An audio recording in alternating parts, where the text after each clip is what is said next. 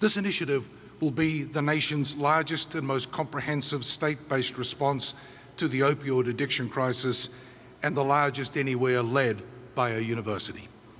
Governor Holcomb has identified addressing the substance abuse crisis as a key priority for the state and has identified aligning the resources of the state, including its universities, as a critical step in achieving that priority.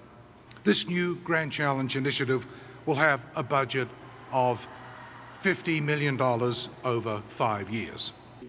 We've seen unprecedented cooperation so far, federal, state, and local governments, the private sector, nonprofits, and of course, the reason why we are all here today from higher education.